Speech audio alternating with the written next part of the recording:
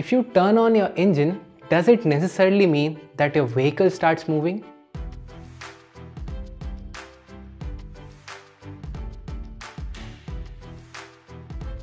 Hi, my name is Akash, you're watching Auto Rage and this is Auto Rage Explained where I tell you basic technologies used in automobiles so that you can understand your vehicle better.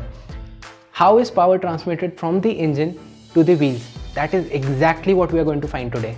If you're more comfortable watching this video in Hindi, click right here or on the link in the description bar below because we want more and more people to understand this. When you turn your key to start the engine,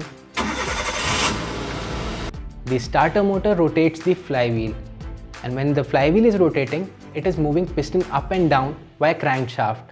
This process is known as cranking the engine. And now when the engine is working on its own, the pistons are not moving because of flywheel. Instead, the flywheel is rotating because of the piston via crankshaft. Flywheel is connected to clutch assembly. Now just to clarify, AMT which you see in Maruti and Tata cars and DSG which you see in Volkswagen cars we are considering them in manual transmission. The fully automatic cars use torque converter instead of clutch assembly. We have a video on different types of transmission. You might want to watch that video to understand different types of transmission.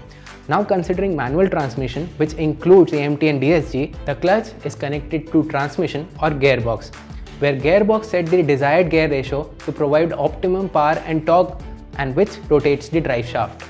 The drive shaft is connected to differential and the differential distributes the rotational energy individually to both the wheels. The axles transmit the rotational energy from the differential to the wheels. Now if your car is front wheel drive, rear wheel drive or all wheel drive, the sequence remains the same.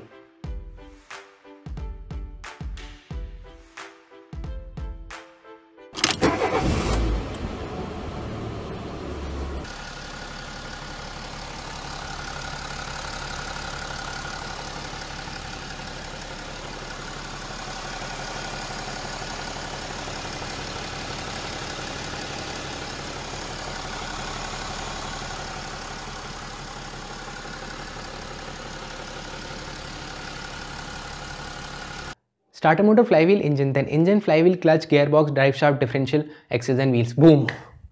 I said it right in Hindi version also. Some advanced cars have advanced mechanisms. Like Audi Quattro has three differentials. But right now we are sticking to basics.